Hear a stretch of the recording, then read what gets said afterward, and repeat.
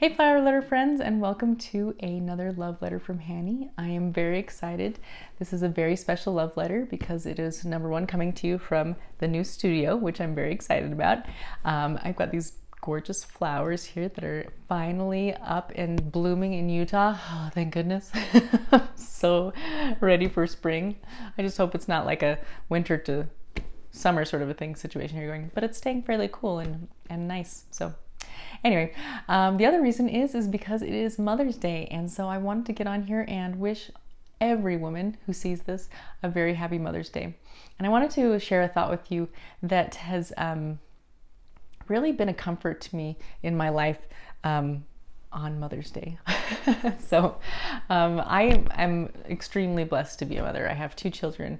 I love them. They are wonderful, and um, and I I consider them um, being their mother one of the greatest privileges of my life.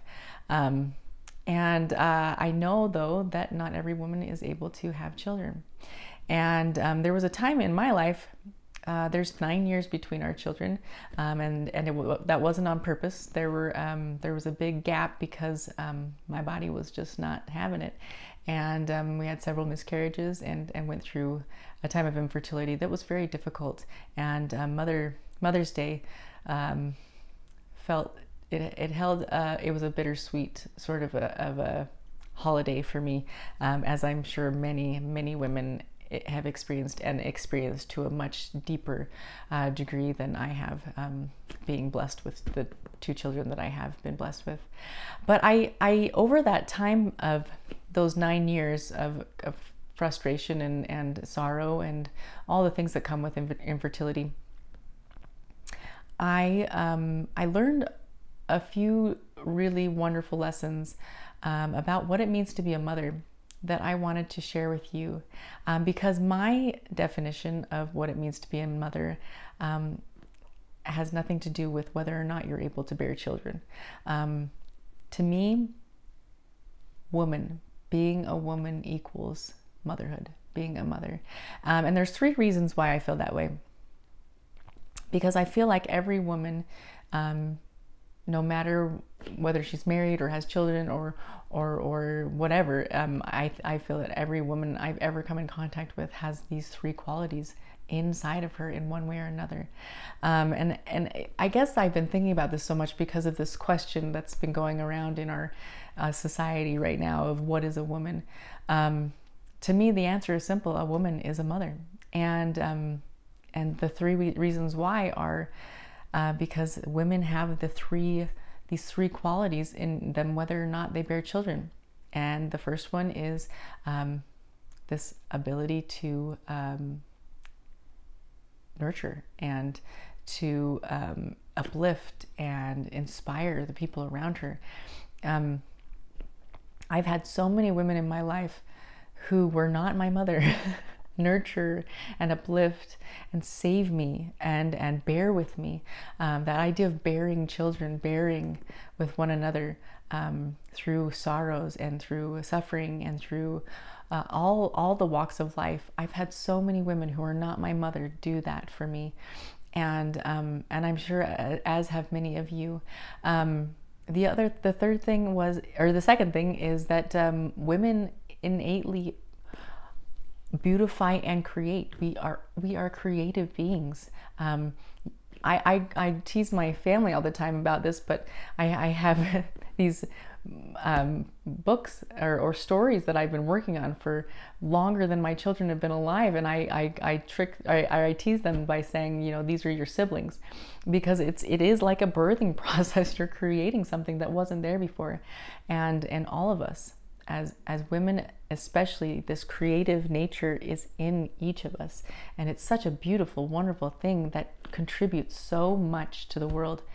Um, and the final thing which is um, i feel like more vital and valuable than it's ever been before is that women innately have this moral compass it's this this ability to to see the best in people, to inspire the best in people, to uh, differentiate between right and wrong, and um, wholesome and not wholesome and virtuous and all of these things, I, I believe that it is womanly and motherly to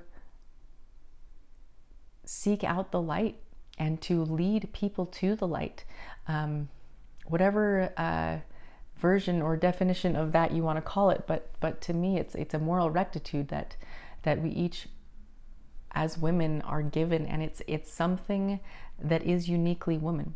And and and to me, it makes perfect sense because you have women are the the the sex that bears children and brings these children into the world and why why wouldn't they have that more firm and and clear and sensitive moral rectitude if they are the ones that are raising for the most part the, the next generation.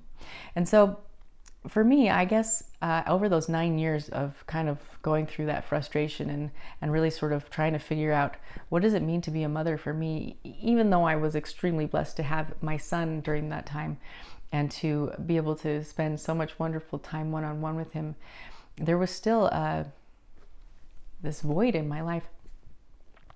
And I believe that it was an extraordinary blessing for me to, one, not only come to understand what a lot of women around me were experiencing. Um, in, in not having any children at all, not not being not having found their spouse yet and, and not being able to start start their families yet. Um, but also this idea that mothering is so much more than being able to bring a child into the world. Mothering is something that never goes away. It is part of who we are. Um, as women, we nurture one another, we uplift one another, we carry one another in so many ways, and um, and so on that note, I just wanted to reach out and and and celebrate with you this idea that because you are a woman, you are a mother. That that woman, what is a woman? She is a mother, and and that takes on so many different. Um, it looks so many different ways eh, because there are so many different women and so many different circumstances. But just because we haven't had children yet, or or maybe never will in this life does not mean that that robs us of this extraordinary part of our identity and, and huge part of our identity which is motherhood. And so i wanted to leave that with you and and to wish every woman who sees this a very happy mother's day and to um, encourage you to to kind of embrace that idea that you are a mother whether you have children physically have born children or not you are a mother because of what you bring to the world. You bring the nurturing, you bring the creativity, and you bring the moral compass that is so incredibly important to the entire human race. And um, and the world is a better place because you are in it. And so many people are being nurtured and mothered and cared for um, and blessed because of you. And I just wanted to leave that with you. And I hope you have a wonderful day. And we will talk to you again next time. Take care.